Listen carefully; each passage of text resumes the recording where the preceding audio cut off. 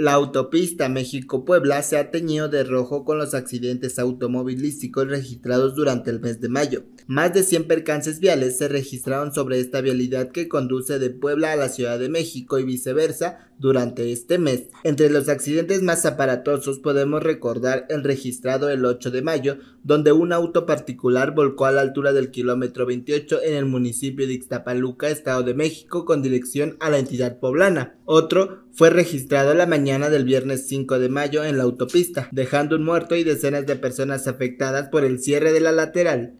El 20 de mayo, un choque múltiple en la autopista donde se vieron involucrados un camión y una camioneta dejó tres heridos. El percance se registró en el kilómetro 28 a la altura de la caseta vieja. El sábado 27 en el tramo del kilómetro 25 más 800 de la carretera con dirección a la Ciudad de México, un auto de la marca Volkswagen color rojo quedó sobre la autopista cerca de la zona conocida como Puente Rojo. En este incidente no hubo ningún lesionado, pues los pasajeros a bordo de la unidad abandonaron el móvil sobre la vialidad. Por este percance la vialidad permaneció cerrada provocando un caos vial para los automovilistas.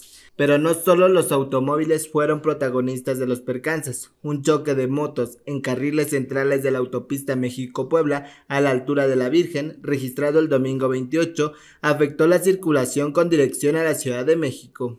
De acuerdo con los datos de caminos y puentes federales, en la autopista México-Puebla se han registrado 9.779 accidentes desde el 2016 hasta el pasado mes de abril. Para Canal 6 TV, Rigoberto Santos.